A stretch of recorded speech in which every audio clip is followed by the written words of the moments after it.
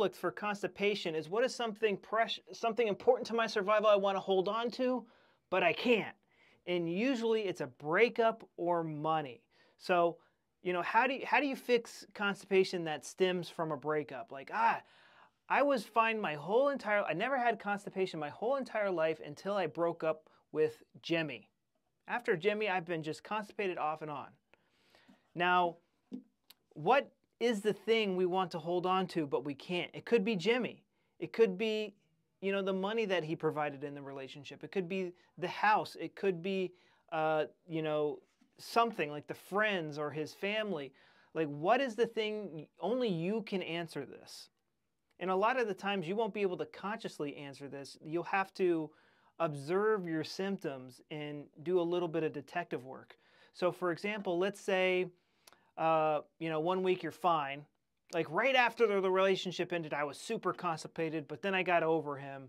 Um, then, then I saw him, you know, dating my sister. So then I remember getting horrible diarrhea. Okay, now he's crap I want to get rid of.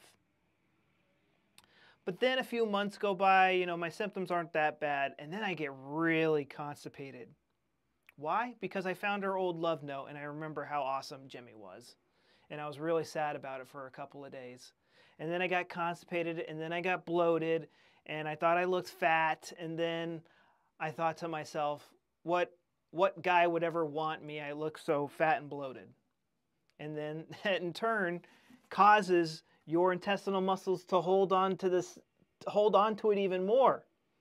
What the intestinal muscles are doing is they're expanding and they're clamping shut down here to hold on to this precious thing. And it can change on a dime. Yeah, I'm joining the number, I'm done with men forever.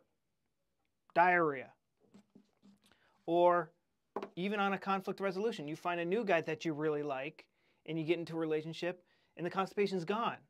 But maybe you're traumatized and every time you see this new guy talk to a girl, you get constipated. So we need to look for the patterns in our constipation. And I know that can be difficult. And, and that's why I made uh, my 13 day protocol. It helps you understand. It, a lot of this is just education on how our body and how our subconscious and how a traumatized mind operates. Now, if you go on my bio link, I have this in like a free mini version in an instant webinar.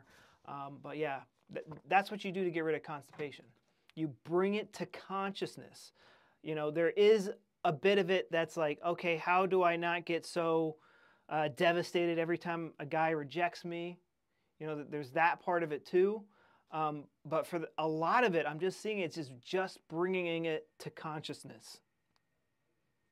And you had this aha moment. Oh yeah, first time I got constipated is when we broke up. And you kind of get goosebumps a little bit. Like a lot of the time, just doing that can break it, but it, it depends for the person.